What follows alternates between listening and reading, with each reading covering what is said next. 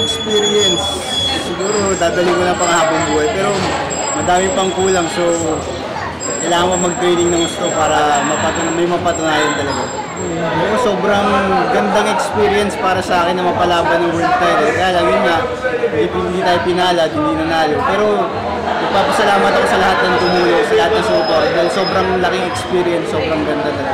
Yung nga, parang yun nga, sabi ko kahit pa paano, naka, medyo nakasabay ako sa kanya. Pero kulang pa rin. Pero sabi nga, yun nga, naka, nakasabay ako sa isang Navarrete na ano, world, isang world champion na lumaban. So tingin ko ngayon, mas dudobling ko pa yung training. Sa hindi pa siguro. Ngayon, pagbalik namin, pahinga ako ng 2 weeks. Yan, balik training na ulit.